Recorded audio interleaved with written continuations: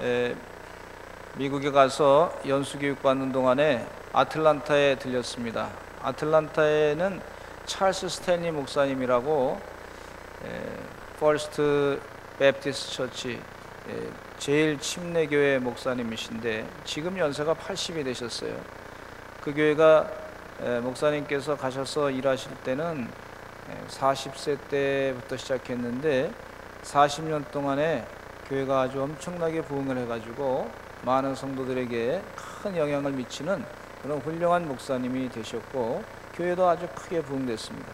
가서 교회 가서 건물을 구경하는 동안에 보니까 에, 성도들은 한 3, 에, 교회 좌석 수는 예배 좌석 수는 한 3천 석 되고 그리고 교회가 마치 큰 운동장 같더라고요. 지임같이 이렇게 크게 져가지고 아주 구석구석에 예배 드리는 것을 보고 은혜를 많이 받았습니다. 이 찰스 스탠리 목사님은 예수 그리스도를 중심으로 해서 항상 설교하시는 그런 목사님이세요. 그래서 예수님의 십자가의 공로, 피의 복음 이것을 가지고 복음을 증거하시는데 근데 이 목사님께서 또 축복을 많이 받으셨는지 그 아들 목사님이신 앤디 스탠리 목사님이 계시는데 이 목사님보다 교회를 더 크게 부흥시켜 가지고 목회를 잘 하시는 앤디 스탠리 목사님께 성품 성품에 대한 그런 책이 하나 있어요. 그 목사님께서 쓴 책인데 아주 은혜를 많이 주는 그런 목사님이십니다. 또 LA의 릭 워렌 목사님 어, 목적이 이끄는 삶 책 여러분 다 읽으셨는데 그 교회 가서 답사를 했는데요. 예, 창고식으로 교회 성전을 지었어요. 그래서 보니까 건물에 비용이 그렇게 많이 안 들게 하셨더라고요.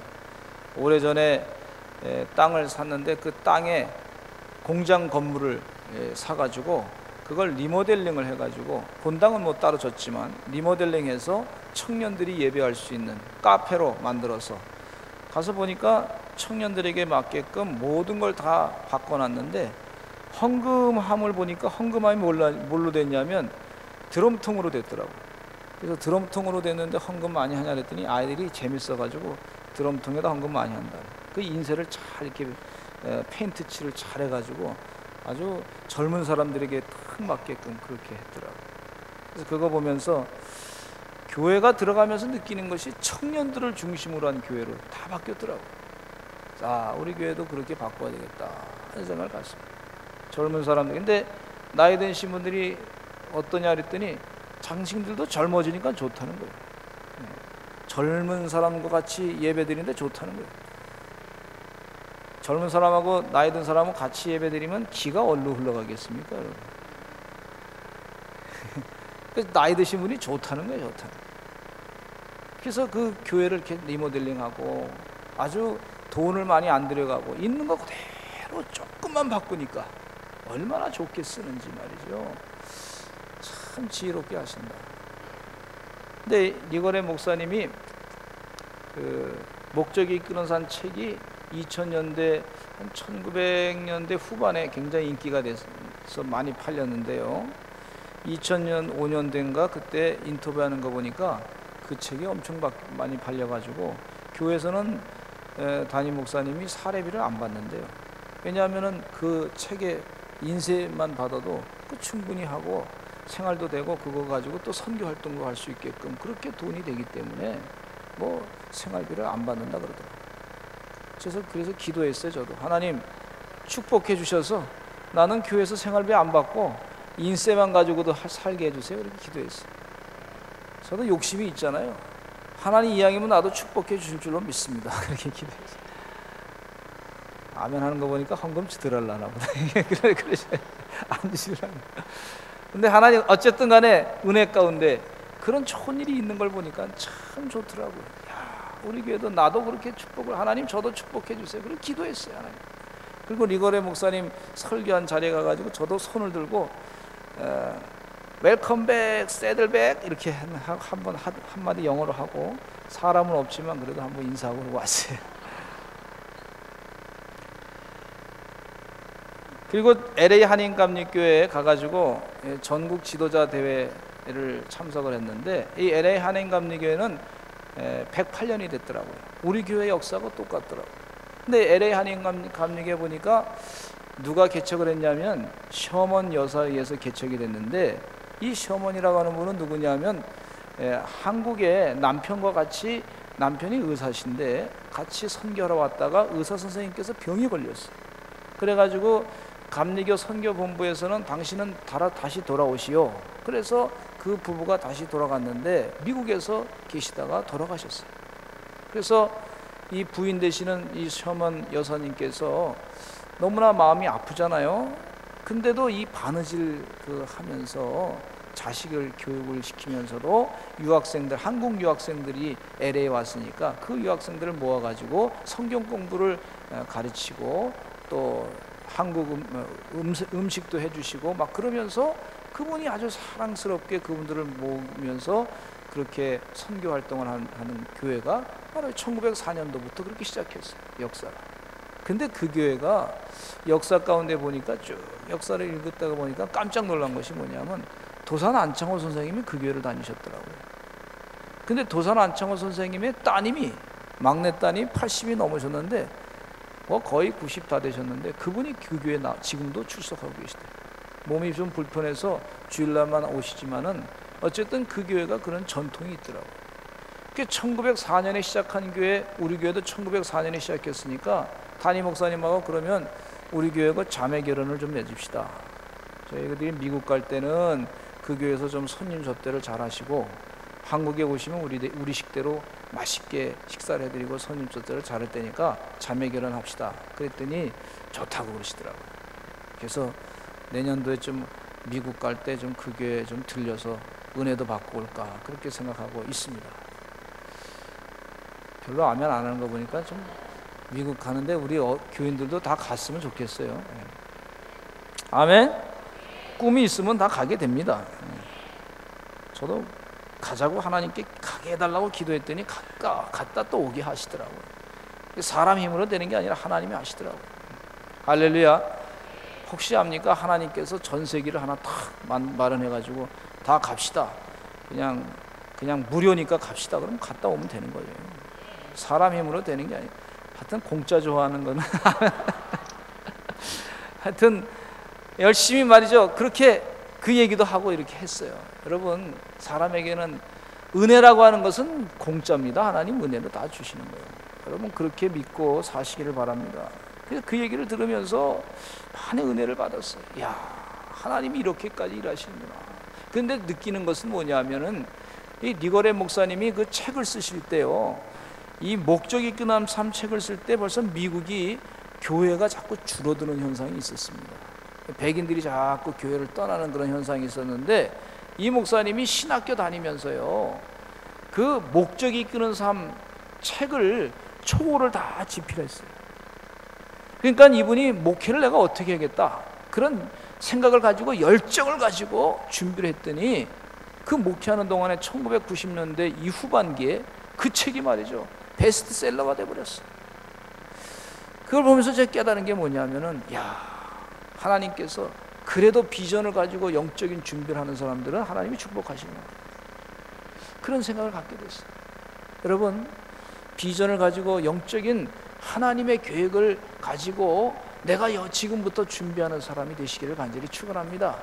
준비를 게을리하지 마시고 쓰시면서 하실 때 하나님께서 우리에게 지도력을 주시는 것을 볼 수가 있어요. 얼마나 감사한지. 하나님은 살아계신 하나님이시고 하나님은 역사하신 하나님이시고 하나님은 지금도 지금도 일하시. 제가 그 에, 하여튼 여러 가지 환상을 또 가서 보는데 하나님께서 이렇게 보여주시고 저렇게 보여주시고 하는데 제가 그 얘기는 다 하지 못하겠어요. 왜냐하면 아직 다 이루어진 게 아니기 때문에 조금 하나님께서 좀 때가 돼서 아직 좀 기다렸다가 나중에 간증을 할 텐데 많은 환상을 보게 하시더라고요. 얼마나 감사하지.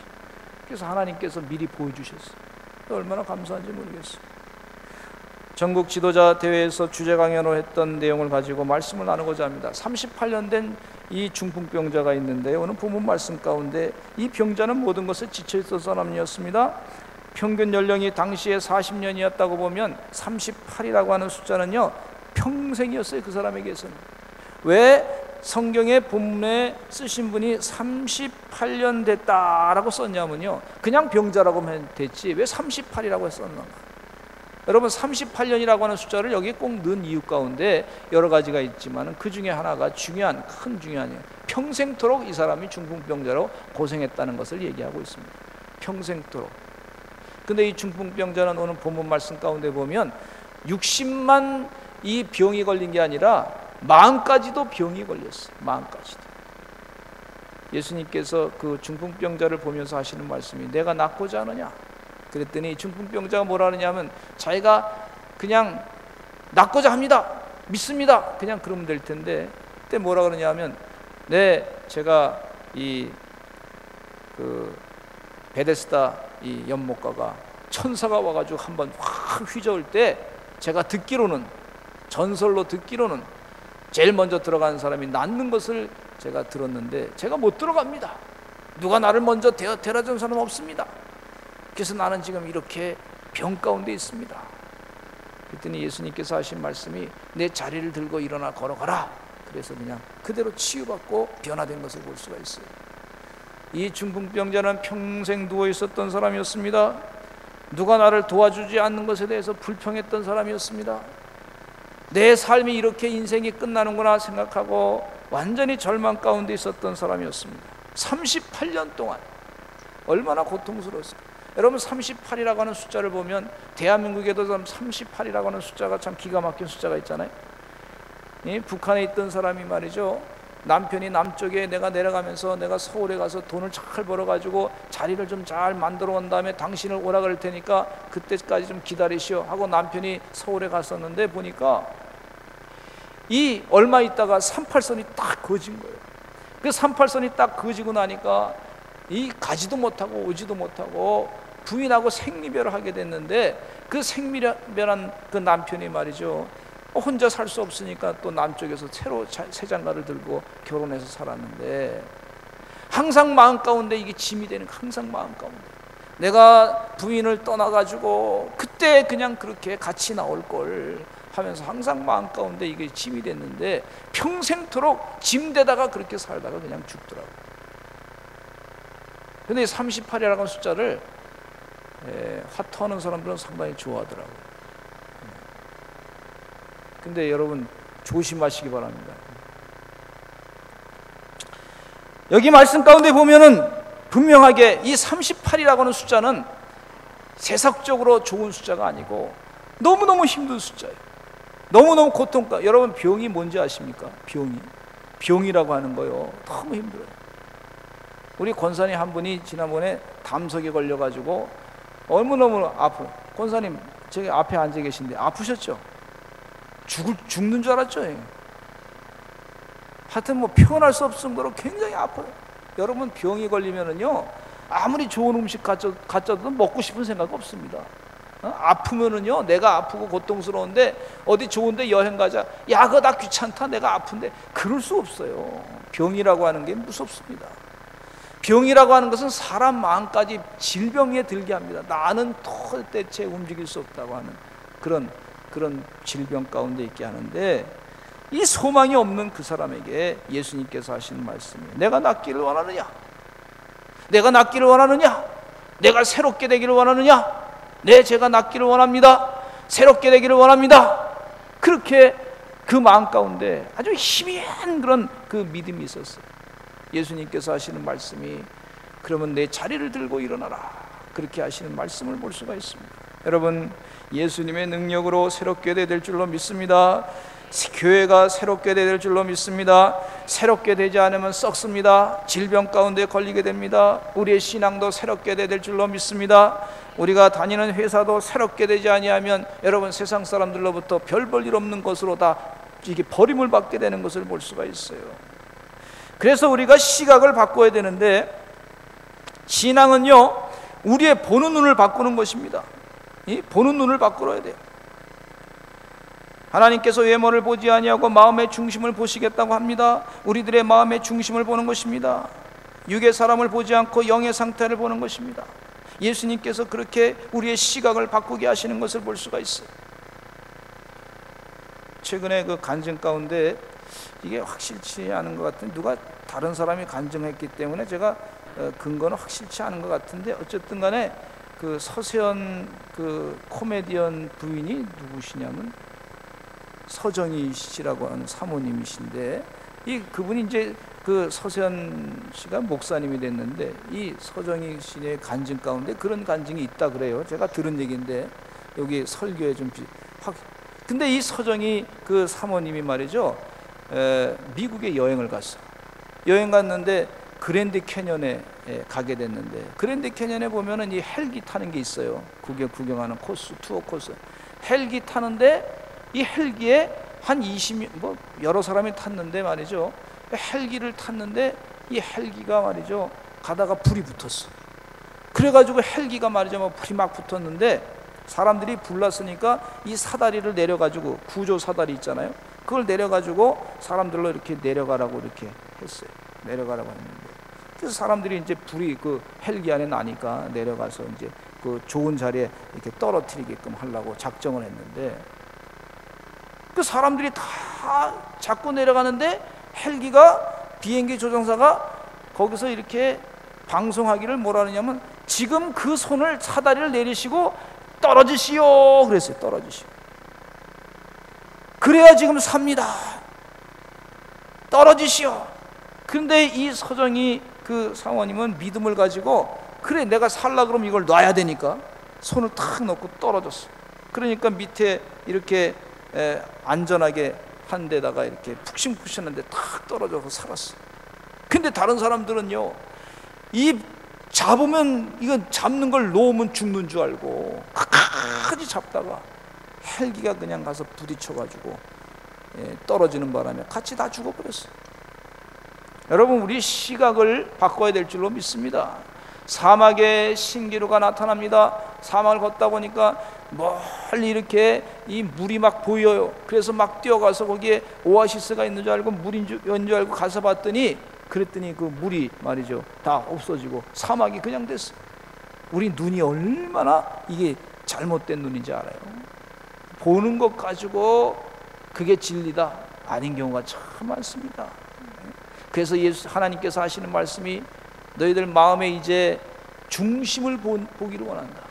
여러분 중심을 보시는 하나님의 그 마음을 아시기를 간절히 축원합니다. 예. 12명의 정탐꾼들은 가나안 땅에 들어갔습니다. 10명의 정탐꾼들이 보고했습니다. 사실을 다 보고했어요.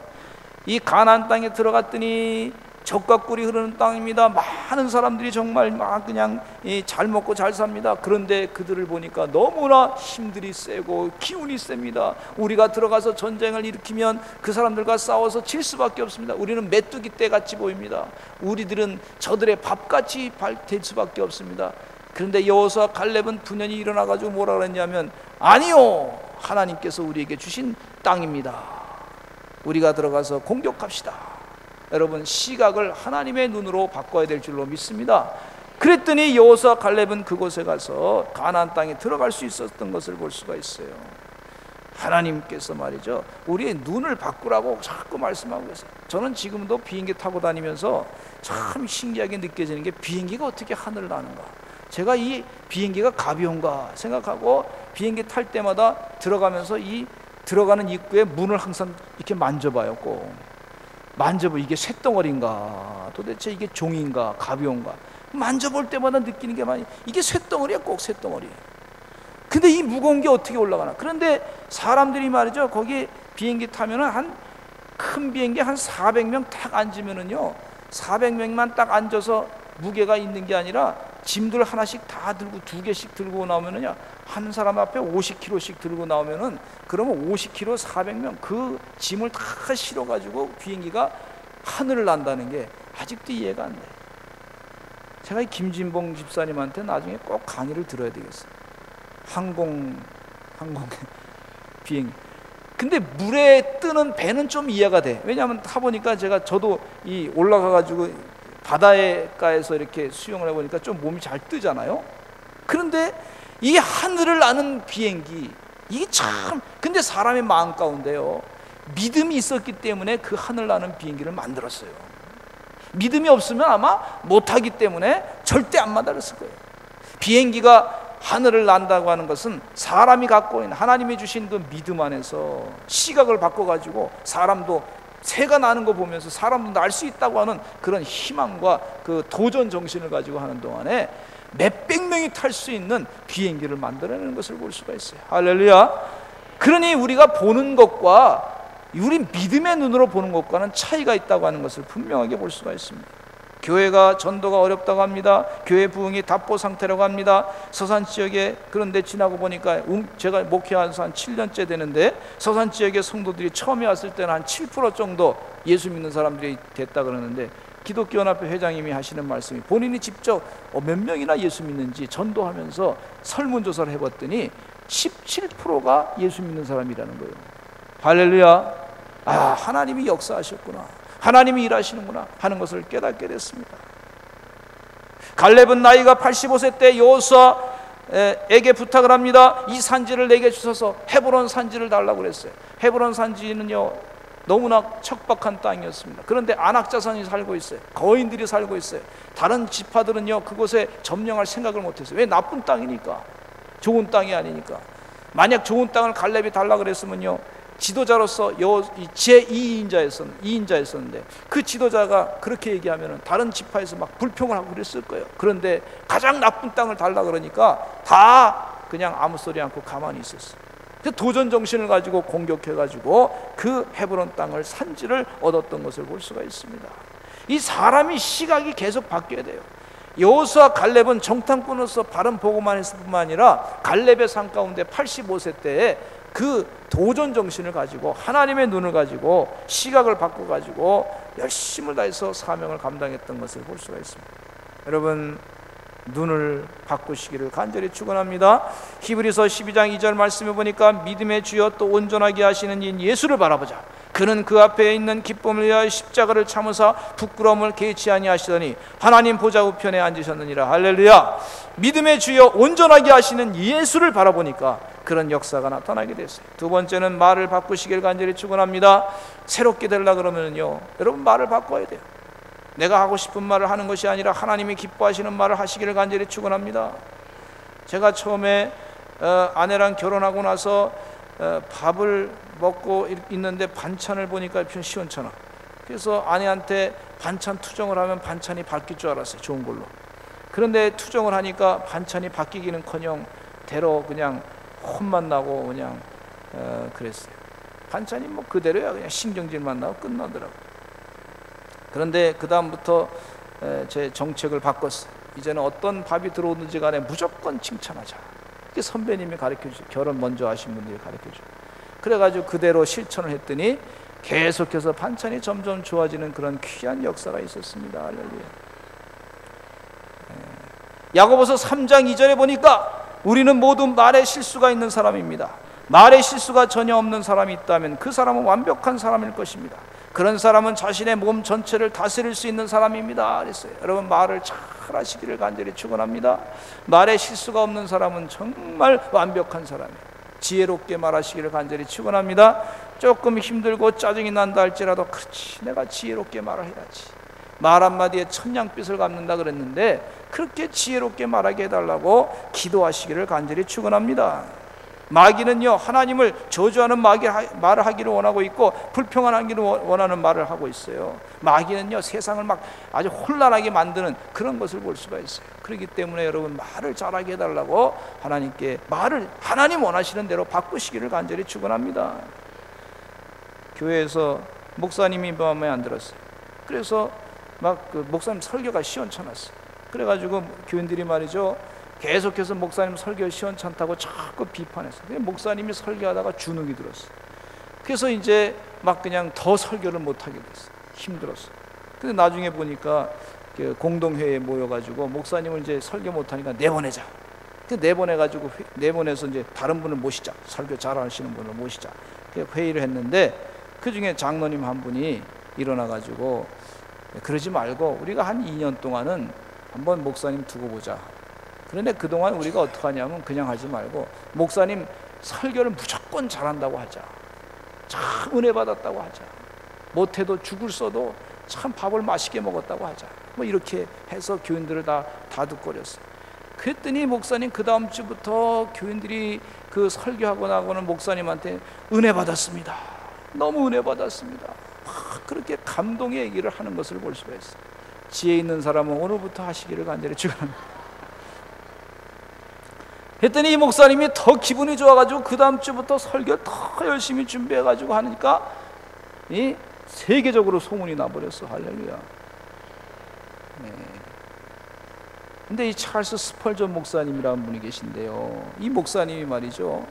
이분이 영국의 목사님이신데 지금도 설교가라고 하면 찰스 스펄전 목사님이 제일 잘하시는 목사님으로 이 인기가 있으신 분이에요. 돌아가신 분이지만은 그런데 이 찰스 스펄전 목사님이 설교를 다른 분의 설교를 듣는 기회가 있었는데 그 사람의 설교가 너무 못하는 거예요.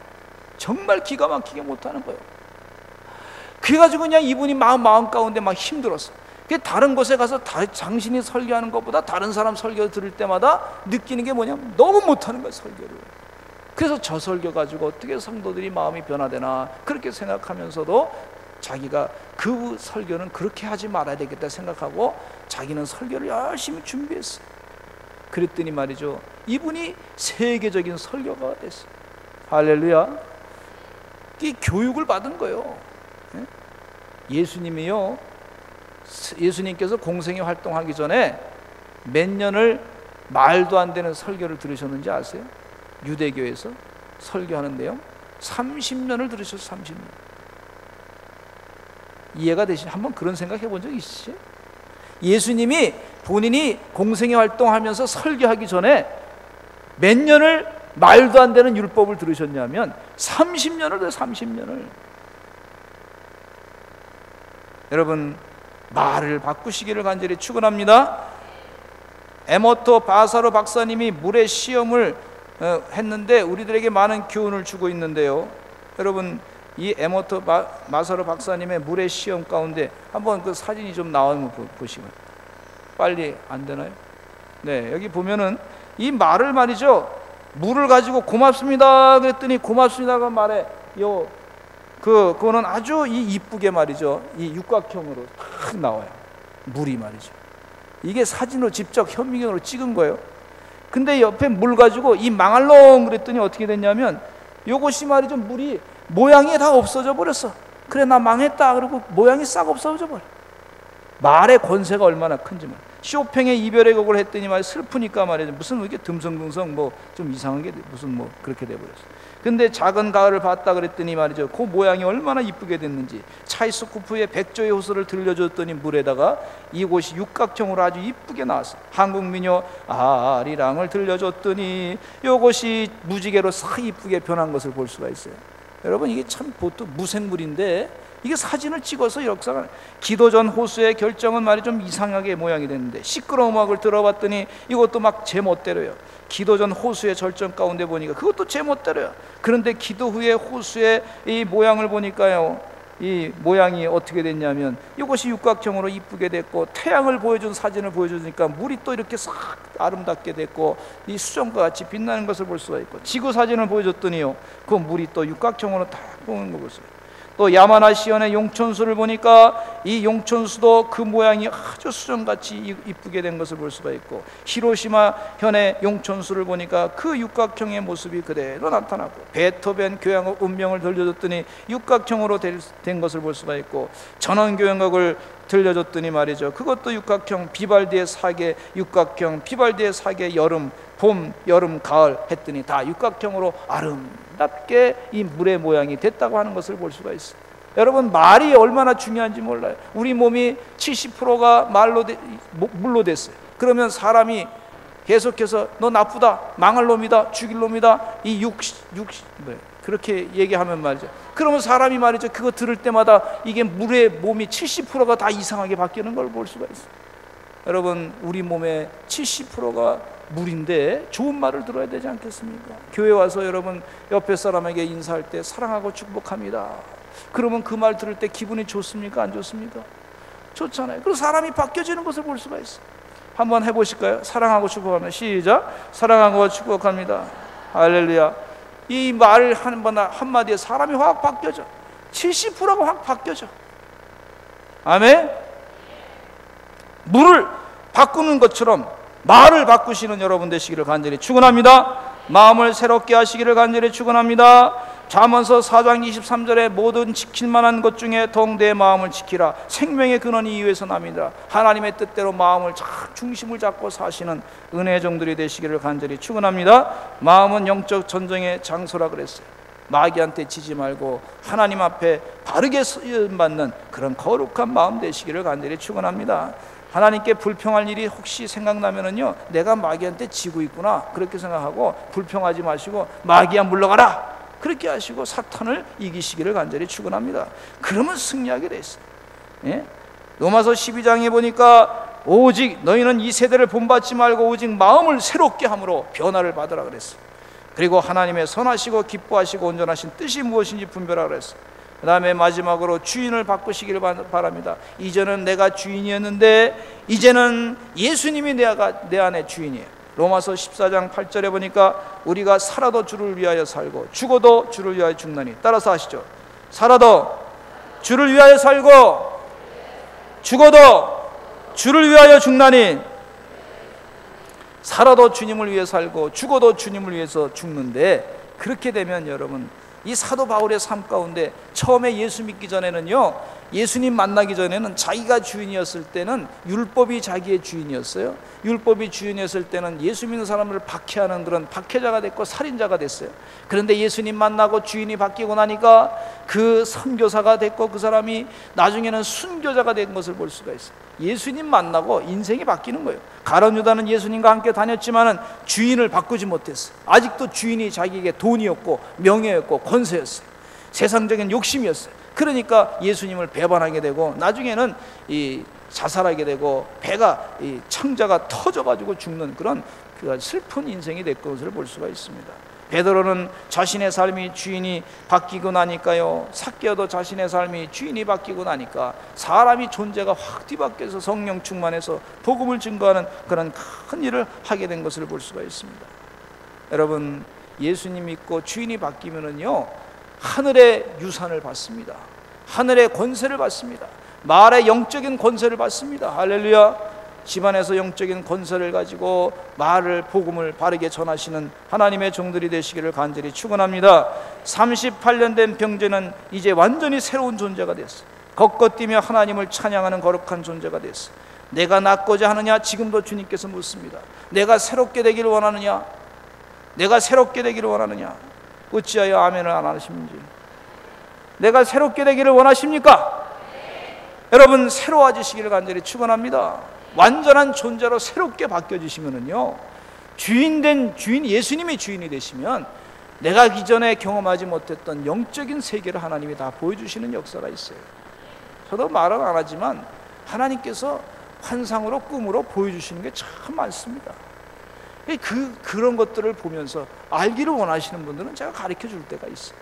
본인이 내가 지금 이거 어떻게 됩니까? 기도해 봅시다. 기도하면 하나님이 응답하시는 게 많더라고요.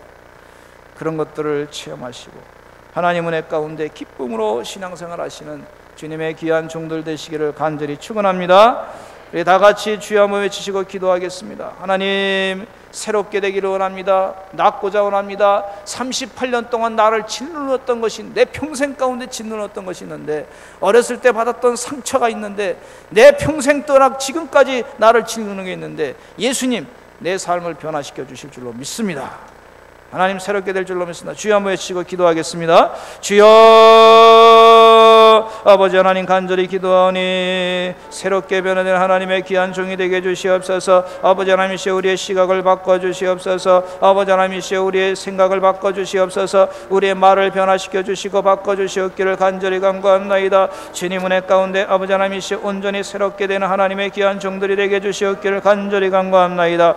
주인이 바꿔지게 해 주시옵기를 간절히 간구합나이다. 이전에는 아버지 하나님이시여 내가 주인이었고 율법이 주인이었고 세상의 아버지 하나님이시여 우상이 주인이었고 세상의 물질이 주인이 있는데 이제는 아버지 하나님이시여 예수님이 주인이시고 진정 아버지 나의 삶을 아버지 하나님이시여 주님 은혜 가운데 온전히 바꿔주신 줄로 믿사오니 이러한 아버지 기적의 역사가 나타나게 해주시옵기를 간절히 간구합나이다. 하나님의 축복을 받는 하나님의 귀한 종들 사랑의 종들 되게 해주시옵소서. 아버지 내가 낫고자 하느냐 새롭게 되기를 원하느냐 아버지 하나님 이시여 역사해 주시어서 주님 은혜 가운데 새롭게 되기를 원합니다. 아버지 나을 줄로 믿습니다. 믿음을 가지고 하나님께 영광과 찬양 돌리는 하나님의 귀한 사랑의 종들 은혜의 종들이 다 되게 해 주시옵기를 간절히 간구합나이다. 주여 역사해 주시옵소서 하나님 축복하여 주시고 이끌어 주실 줄로 믿습니다. 믿음 안에 아버지 하나님 이시여 승리하는 하나님의 귀한 종들이 되게 해 주시옵기를 간절히 간구합나이다. 역사해 주시옵소서 예수님의 이름으로 기도합나이다.